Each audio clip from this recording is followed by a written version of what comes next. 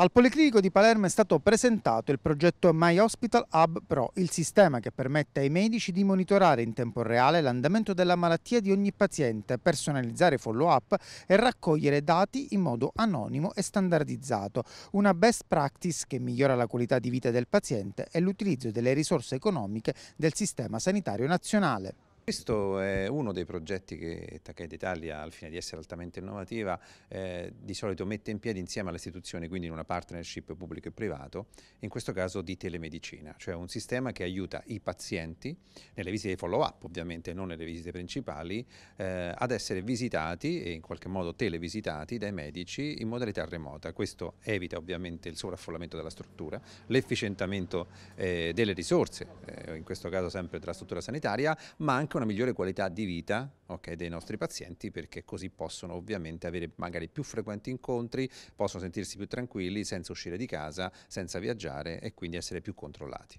Ecco, quanto può essere importante la telemedicina oggi, nel 2023, dopo una pandemia che, ha, che ha potenziato i servizi digitali?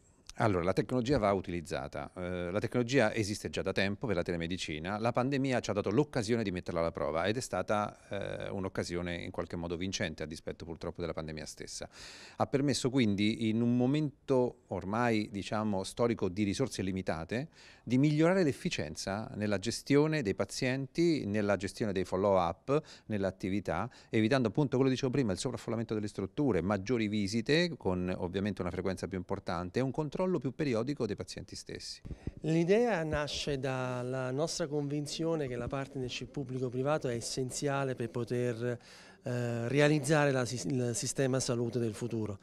E da questo punto di vista abbiamo subito colto l'invito a realizzare questo progetto di telemedicina con l'ospedale Giaccone e con il nostro partner con il quale abbiamo già realizzato altri progetti, cioè Adilife, per la gestione dei malati cronici a distanza.